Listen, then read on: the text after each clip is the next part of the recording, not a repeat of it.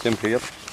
Звонил знакомый, спрашивал э, про кустик двухлетку. Вот у него засигналило э, на второй год. Э, дала сигналочку. В общем, спрашивал, как ему оставлять гроздь.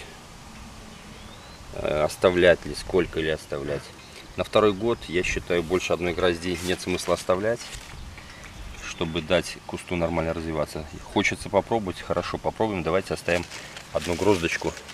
Вот она у меня, например, тоже сформировалась.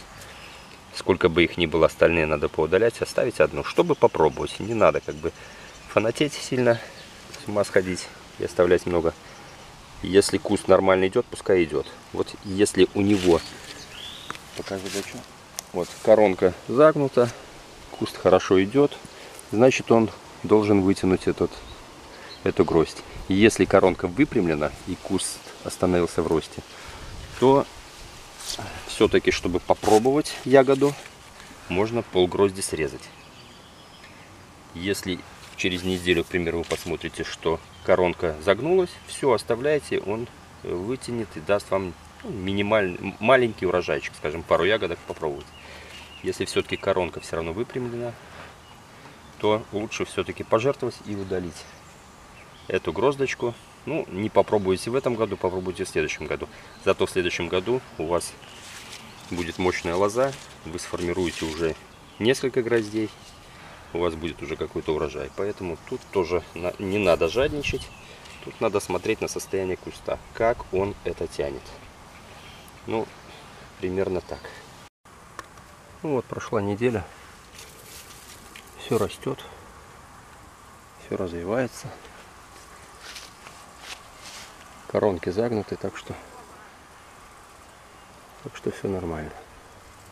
Так что гроздочку эту тянет. Так что не буду ее укорачивать, так вот и оставлю, как она есть. Так что есть вероятность попробовать мне эти ягодки. Ну вот платовский коронка выпрямилась. Гроздочка висела, я ее удалил. Я лучше в этом году ее не попробую, но зато у меня кустик помощнее пойдет. В следующем году даст какой-то уже урожай. Чем жертвовать ради одной гроздочки следующим годом. Поэтому тот я оставил, потому что там очень хорошо тянул.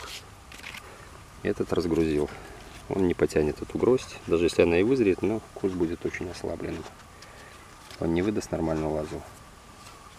Не будет у меня нормального запаса на следующий год. Поэтому сделаю так. Все.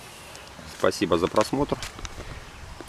Подписываемся на канал, ставим лайк, жмем колокольчик. Всем пока.